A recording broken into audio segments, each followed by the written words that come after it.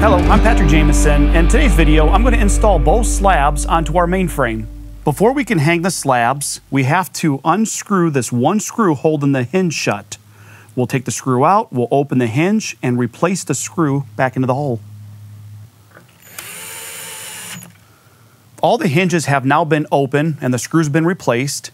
I need to remove these hinge screws from the mainframe before setting the panels.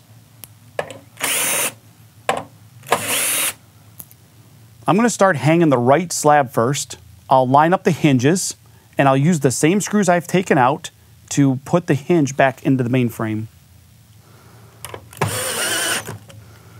I'm going to follow the same process attaching the left slab to the mainframe now.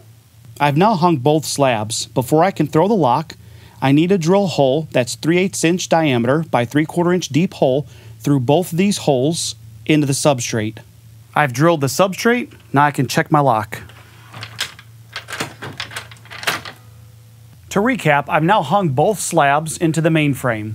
In the next video, I'm going to add the handles and all the covers.